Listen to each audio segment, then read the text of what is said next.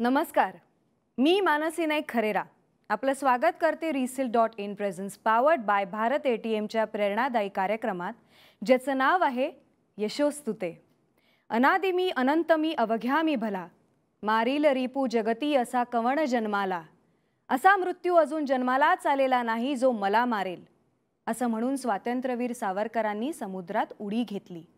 मित्रांनो संकट येतात त्यावेळी आपल्या मनाला असंच बळकट करावं लागतं. तेव्हाच आपण संकटांचा समुद्र पार करू शकतो. चला तर मग भेटूया यशस्वी महिला उद्योजक प्रतिभा गांधी आणि त्यांच्यासोबत एखाद्या दीपस्तंभाप्रमाणे उभे असलेले त्यांचे पती विठ्ठल गांधी यांना. नमस्कार प्रतिभाजी. नमस्कार. नमस्कार विठ्ठलजी. नमस्कार मॅडम. तुमचं लग्न कसं झालं आणि किती वर्ष झाली? आमच्या लग्नाला एकवीस वर्ष आणि चार महिने झाले. आमचं लव्ह मॅरेज आहे. हे यांच्या बहिणीकडे होते. माझी आत्या आणि यांची बहीण शेजारी राहत होते. तेव्हा मी सुट्टीला असताना माझ्या आत्याकडे जायचे ना. तर तेव्हा ते बॉन्डिंग किंवा ते मन जुळले किंवा त्या गोष्टी झाल्या. प्रतिभाजी हा जरा पर्सनल प्रश्न आहे. तुम्ही म्हणालात तुम्ही दहावीत लग्न केलं. तेव्हा तर खूप लहान असाल ऑब्व्हियसली मग तेव्हा घरच्यांनी कसं बरं हा डिसिजन घेतला की सरांशी लग्न करायचं? परत दुसरी कोणी त्यांच्या आयुष्यात आली असती तर. खरं उत्तर एकदम उत्स्फूर्तपणे बाहेर निघालं. म्हणून मी लवकर लग्न करून टाकलं. पण दुसरं काहीच कारण नाही. नाही दुसरं कारण नाही. आणि ते एक माणूस म्हणून खूप चांगला व्यक्ती आहे हे मला समजलं. त्या पिरियडमध्ये त्यांना काही स्थळ येत होती मला पण स्थळ येत होती पण आम्ही नकार दिला. आणि शेवटी आमच्या घरच्यांनी असं ठरवलं की आता आपण यांचं लग्नच लावून देऊ. शेवटी आमचं लग्न घरच्यांनी लावून दिलं आणि आज आम्ही त्या सुख सुखी संसार करतोय. लग्नानंतरच्या प्रवासाबद्दल थोडं सांगा ना. आमचं लग्न दोन हजारला झालं. जेव्हा माझं लग्न झालं तेव्हा हे पुण्यामध्ये राहत होते. एक सहा वर्ष आम्ही पुण्यामध्ये राहिलो. लग्नानंतर काही कारणास्तव आम्हाला आमच्या गावाकडे यायला लागलं. आमचं गाव पारगाव आहे. पारगाव सुद्रिक श्रीगोंदा तालुक्यात आहे ते. त्या गावी आम्ही आलो. तिथे आल्यानंतर आम्ही छोटंसं किराणा दुकान टाकलं. ते किराणा दुकान हे चालवत असताना मला कुठेतरी वाटलं की आपण हे दोन पैसे आपल्या संसारासाठी कमावेत. म्हणून मी ब्युटी पार्लरचा कोर्स केला. कोर्स करण्यासाठी पारगाव ते श्रीगोंदा डेली मी दहा ते बारा किलोमीटर जायचे. तो कोर्स मी सहा महिने कोर्स केला. कोर्स केल्यानंतर मी परत पारगाव सुद्रिकमध्ये माझं पार्लर टाकलं. काही दिवस मी पार्लर चालवलं. मध्यंतरीच्या काळामध्ये मुलगा झाला मुलगी झाली. मुलं मोठी झाली मग मुलाच्या शिक्षणासाठी काहीतरी वेगळं करायला हवं. म्हणून मी पारगाव सोडला. दोन हजार तेराला मी श्रीगोंद्यामध्ये आले. त्यानंतर एक पतसंस्था आहे. मल्टी स्टेटमध्ये मी कामाला लागले. एक शिपाई म्हणून तीन चार महिने मी काम तिथं केलं. काय? तुम्ही शिपाई म्हणून कामाला लागलात? हो. कारण माझं क्वालिफिकेशन कमी असल्यामुळे मला पुढचा पुढच्या क्लर्क किंवा कॅशियर किंवा ह्या पदावर काम करण्याची संधी भेटत नव्हती. नाही म्हणजे पण मग तुमच्या ब्युटी पार्लरचं काय झालं? ह्यांचा किराणामाचं दुकान होतं त्याचं काय झालं? खेडेगावात दुकान असल्यामुळं एवढा रिस्पॉन्स नव्हता आम्हाला तिथे. पार्लरला असेल किंवा किराणा दुकानाला असेल. आणि ह्या व्यवसायासाठी भांडवल गरजेचं असतं. आणि आमची परिस्थिती हालाकीची असल्यामुळे आम्ही ते पुढे व्यवसाय पुढे नेऊ शकलो नाही. आणि म्हणून मग नोकरी करण्याचा निर्णय घेतला आणि गाव सोडून तालुक्याच्या ठिकाणी येऊन मी एका पतसंस्था मल्टी स्टेटमध्ये कामाला लागले. मी शिपाई म्हणून काही दिवस केलं तेव्हाच ते यांनी पिग्मी एजंट म्हणून सुरुवात केली. म्हणजे तुम्ही दोघंही एकाच पतसंस्थेत एकाच वेळेस कामाला लागलात. हो. सर मला माहिती आहे पिग्मी एजंट म्हटलं की खूप फिरावं लागतं. तेव्हा तुमच्या नातेवाईकांचं काय म्हणणं होतं? मित्र काय म्हणाले तुम्हाला? नातेवाईक तसे काही नाही बोलले आम्हाला तसे. तसं म्हणजे काही विषय नव्हता एवढा. बोललो नाही कोणाशी आम्ही असं. जे करायचं ते आप- आपल्याला करायचं आहे ना. म्हणजे थोडक्यात नातेवाईकांपासून तुम्ही दूर झाले दूर झालो. पण मग इथल्या संसाराची सुरुवात कुठून झाली प्रतिभाजी? माझ्या आयुष्याला खरं तर दोन हजार तेरालाच खऱ्या अर्थाने चांगल्या संसाराला सुरुवात झाली. जी. मला तिथे तीन हजार पेमेंट होतं आणि यांचे दहा बारा हजार काय म्हणजे टोटल चौदा पंधरा हजार रुपये माझ्या घरात यायला लागले. माझ्या घराला तेव्हा सत्तावीसशे रुपये भाडं होतं. लाइट बिल तीन हजार रुपये जायचे.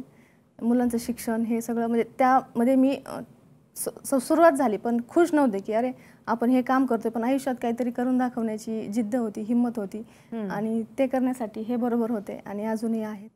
प्रतिभाजी पण तुम्ही जेव्हा बँकेत काम करत होता तेव्हा तुमच्या मुलांना कोण सांभाळत होतं? मी जेव्हा कामाला लागले तेव्हा माझी मुलगी चौथीत होती आणि मुलगा सातवीमध्ये होता. मुलगा मोठा असल्यामुळे त्याचं काही एवढं टेन्शन नव्हतं. तो जाऊन येऊन करायचा घरी थांबायचा. मग मुलांची शाळा चार वाजता सुटली की मग माझं ऑफिस तेव्हा रात्री आठपर्यंत चालायचं. सकाळी नऊ ते आठपर्यंत माझं ऑफिस असायचं. मग मुलगी घरी आली की मुलगा तिला माझ्यापाशी सोडायचा. मग ती ऑफिस संपूपर्यंत माझ्याबरोबरच असायची. मग मी तिला घरी घेऊन जायचे. म्हणजे बँकेत तुम्ही मुलीला घेऊन काम हो. करायचं. ती माझ्याबरोबर असायची. बर. जी पीक मी जमा करायची असते ते चार ते सातच्या दरम्यान करायची असती मग तिला सांभाळायला कोणी नसायचं मग ती माझ्याजवळ थांबायची. वा म्हणजे काम करता करता मुलीला सांभाळत तुम्ही. मग त्यावेळी बँकेतल्या सहकाऱ्यांनी तुम्हाला मदत केली का? हो माझ्या ज्या सहकारी मैत्रिणी होत्या त्यांनी मला सहकार्य केलं पण तिथे काम करणाऱ्या एका अधिकाऱ्याने मला डिवचलं. मीन्स माझं शिक्षण कमी असल्यामुळे वेळोवेळी अपमान करणं बोलणं.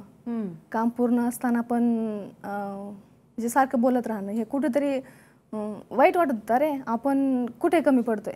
म्हणून मग मी यांच्याशी चर्चा केली. ते म्हटले की आपण वाईस लेवलला ॲडमिशन घेऊ. आणि तिथून प्रवास सुरू झाला. एक मिनिट म्हणजे लग्नाच्या तेरा वर्षानंतर मुलं बाळं झाल्यानंतर तुम्ही शिकायचा निर्णय घेतलात. नक्की हा निर्णय का घेतलात तुम्ही? कारण दहावी शिक्षण असल्यामुळे पुढं कोणत्याच पदावर मी काम करू शकत नव्हते. मग कॅशियर असेल मॅनेजर असेल किंवा अजून कोणती पुढच्या पदावर जायचं असेल तर शिक्षण महत्त्वाचं होतं. मग आम्ही वाय सी एमला ॲडमिशन घ्यायचा निर्णय घेतला. आणि माझा मुलगा मी जेव्हा ॲडमिशन घेतलं माझा मुलगा आठवीत होता आणि मुलगी पाचवीमध्ये होती तेव्हा आम्ही ते ॲडमिशन वाय सी एमला घेतलं. म्हणजे प्रतिभाजी पिऊन म्हणून काम करत असताना तुम्ही मॅनेजर व्हायचे स्वप्न बघत होते. हो. मग सर घरात तीन तीन मुलांना अभ्यास करताना बघताना तुम्हाला काय वाटलं? आनंद व्हायचा पाहून. बाहेर न्यायचो त्यावेळेस मुलगी मिसेस मुलगा सगळे सगळे अभ्यास करत बसायचे. मग स्वयंपाकाचं काय? संध्याकाळी स्वयंपाक करायचा. म्हणजे असं आहे का की तुम्ही स्वयंपाक सांभाळायचा असं नाही? असं काही नाही. नाही, कधीतरी करायचे. पोहे कर हे कर ते कर नाश्ता कर.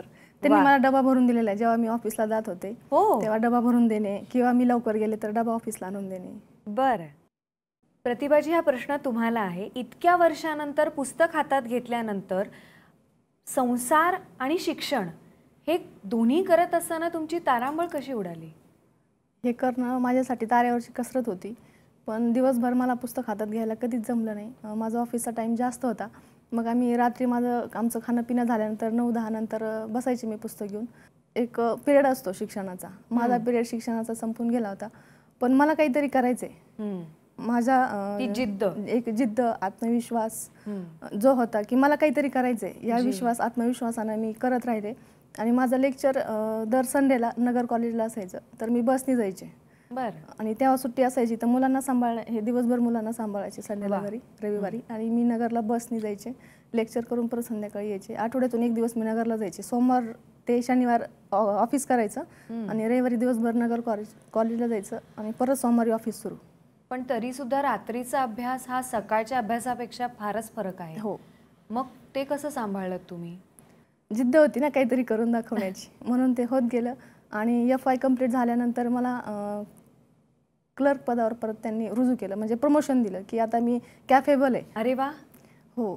आणि त्यानंतर शिक्षणाचं महत्त्व काय असतं ते समजलं. अगदी बरोबर आहे. हो. आणि त्यानंतर सेकंड इयर कंप्लीट केल्यानंतर परत एकदा प्रमोशन झालं आणि कॅशियर म्हणून काम करण्याची संधी भेटली. त्यानंतर मी टी वाय कंप्लीट झाल्यानंतर मला लोन डिपार्टमेंटची हेड म्हणून पण काम करण्याची संधी भेटली. वा कमालीची स्टोरी आहे तुमची प्रतिभाजी. हा प्रश्न मला तुम्हाला विचारायचा आहे सर की प्रतिभाजी असं टप्प्याटप्प्याने पुढे जात होते तेव्हा तुमची काय रिॲक्शन होती? खूप आनंद झाला त्यावेळेस मला. हो बरोबर आहे. म्हणजे आनंद होणारच. ज्यावेळी ही टी वाय पप्पा पास झाली त्यावेळेस माझा मुलगा दहावी पास झाला. वा म्हणजे अकॅडमिक इयर झालं असं म्हणायला हरकत हो. नाही. प्रतिभाजी तुम्ही एका शिपयापासून ते डिपार्टमेंट हेडपर्यंत प्रगती केलीत.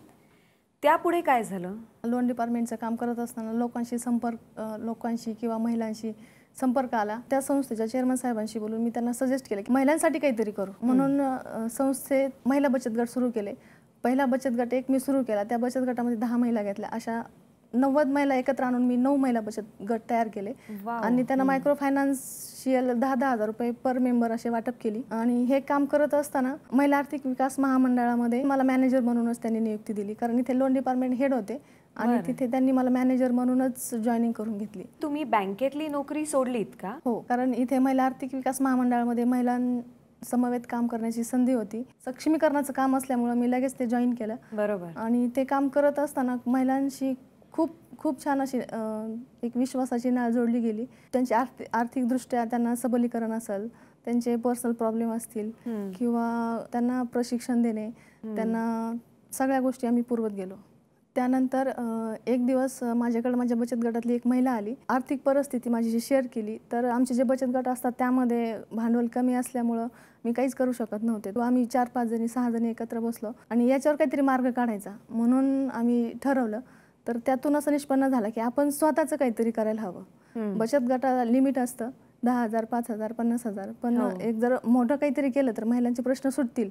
म्हणून मी आम्ही सगळ्या सहा सात जणींनी ठरवलं की आपण स्वामिनी महिला पतसंस्था स्थापन करायची. त्यातून स्वामिनीचा जन्म झाला. वाव प्रतिभाजी म्हणजे तुम्ही स्वामिनी महिला पतसंस्थेच्या फाउंडर मेंबर बनलात. हो चेअरमन आहे मग या संस्थेच्या अंतर्गत तुम्ही कोणत्या कामांना प्राधान्य देत आहात? एकतर ही स्वामिनी महिला म्हणजे महिलांची संस्था असल्यामुळे माझी जे संचालकाची बॉडी आहे. त्यात पण अकरा जणी आम्ही अकरा जणी महिलाच आहोत. माझा स्टाफ पण महिलांचाच आहे आणि आम्हाला काम महिलांसाठीच करायचं होतं.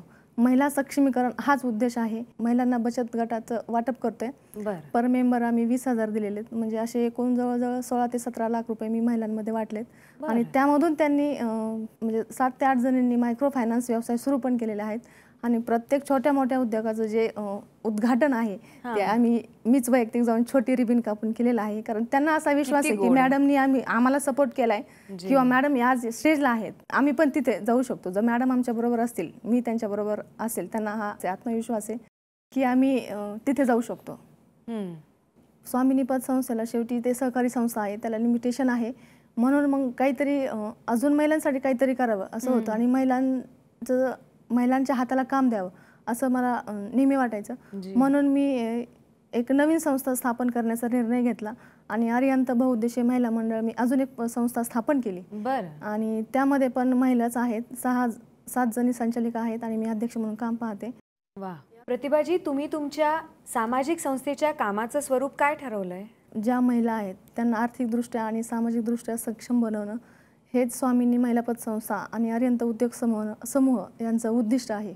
ज्यावेळी मी पिऊन म्हणून काम करत होते त्यावेळेस माझं दहावी शिक्षण होतं. माझ्या ज्या तळागाळातल्या ग्रामीण भागातल्या ज्या महिला आहेत त्यांचं अजिबातच शिक्षण नाही आहे त्या कसं करणार काय करणार? तर मग त्यांच्या हाताला काम मिळावं त्यांना दोन रुपये रोजगार मिळावा म्हणून मी अरिहंत उद्योग समूह सुरू केला. आणि त्यामध्ये आता सहा ते दहा महिला माझ्या कारखान्यात काम करतात. आणि सहाच्या दहा होतील दहाच्या शंभर कशा होतील हाच माझा उद्देश आहे. की जिथे माझा उद्योग समूह जर आहे तर त्यामध्ये जास्तीत जास्त महिलांच्या हाताला काम भेटेल आणि त्या आर्थिकदृष्ट्या सक्षम होतील.